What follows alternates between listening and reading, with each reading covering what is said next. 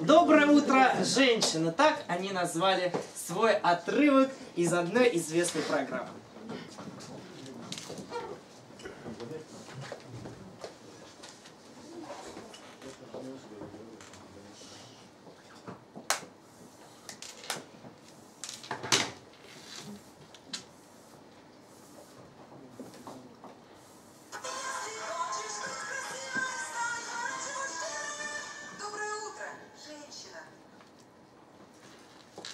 Доброе утро, женщины!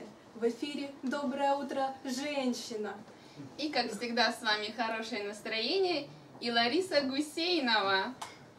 А хорошее оно потому, что после очередной поездки, на- после очередного курортного романа у моей соведущей одна полоска. Ларисочка, а вы невероятно свежи для женщины, которая целых 19 лет была любовницей Винокура. Ну что ж, вы видите, сегодня у нас действительно прекрасное настроение, потому что это доброе утро женщина. А я передаю слово своей соведущей Екатерине Чудовищевой. Вообще-то я чудовищева. Фамилия должна говорить о человеке, а не врать о нем. Поэтому Екатерина Чудовищева. Ну что ж, а сегодня прекрасный день. Сегодня празднует свой день рождения известная болгарская певица Мария Стойчева. Ей сегодня 59 лет. Ее и сейчас можно узнать на дискотеке 80-х по хорошо сохранившемуся платью. Ну а как доживает свои дни в нищете некогда блиставшая королева Украинской ССР, мы посмотрим в сюжете Ольги Крюковой.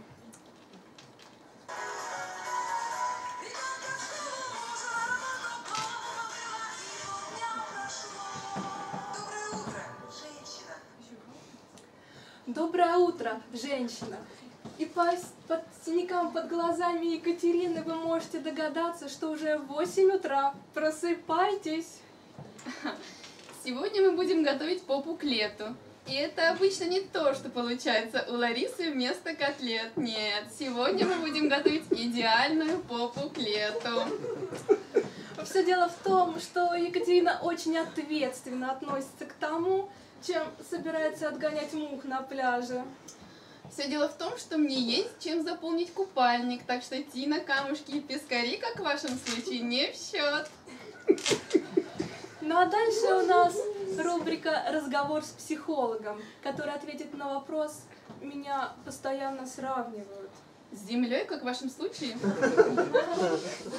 С лошадью, как и ваша. Но не переживай, психолог обязательно ответит на все вопросы. Ну а пока мы посмотрим сюжет специально для жадных матерей. Как подготовить ребенка к первому сентября всего за 400 рублей. Давайте посмотрим. Давайте. Ларис, скажите, а кто вас забирал вчера после эфира на «Газели»? Слушайте.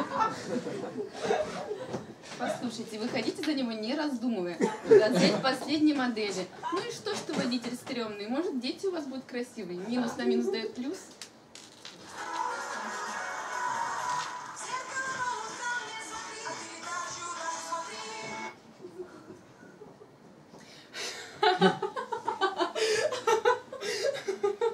Ой, вы знаете, во время сюжета Катя рассказала мне такую смешную историю, как ее узнали на Дорогомиловском рынке и заставили вернуть товар на весы. Ой, извините. Ну а мы сейчас переходим к нашей следующей рубрике «Народные приметы». Лариса, знаете, почему именно вас поставили читать народные приметы? Почему? Потому что бабушки верят бабушкам. Милые женщины, по народному календарю сегодня праздник Иван Теребий. Любимый праздник моей соведущей. В этот день принято бить себя по рукам и не давать волю чувствам.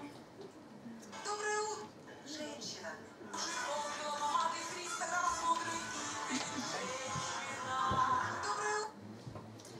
А мы продолжаем. И через несколько минут в нашей постоянной авторубрике «Пятый цилиндр» мы ответим на вечный вопрос, нужно ли включать поворотник или достаточно просто громко подумать, прежде чем повернуть, чтобы остальные поняли, куда вы собираетесь поворачивать. Ведь так, Лариса?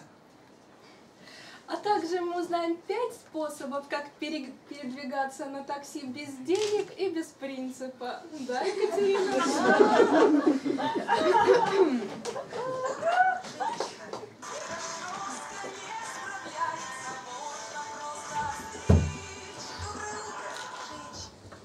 Время гороскопа на доброе утро, женщина. Лариса, а вы кто по знаку зодиака? Овен. Следовало догадаться по вашему каракулю.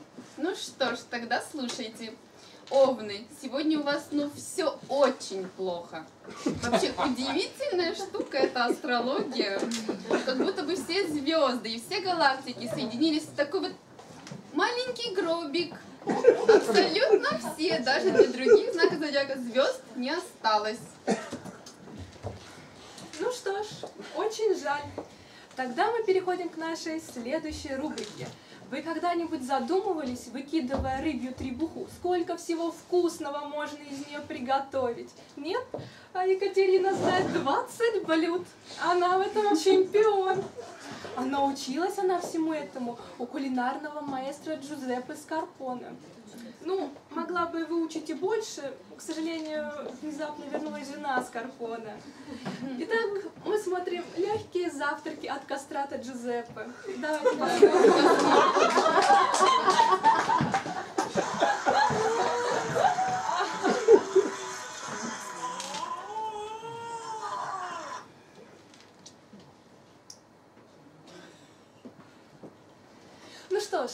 Это доброе утро, женщина. Мы завершаем свою работу. Надеюсь, вы получили хоро- заряд хорошего настроения и бодрости на весь день. А от себя и от лица наших телезрителей хочу поблагодарить Ларису, ветерана нашего утреннего эфира. Ну, правда. Очень жаль, что Лариса не успела вам рассказать удивительную историю о том, как в зоомагазине ею целых три часа играли котята. Но она обязательно это сделает завтра, я вам обещаю. Но мне остается только добавить. Доброе утро, женщина!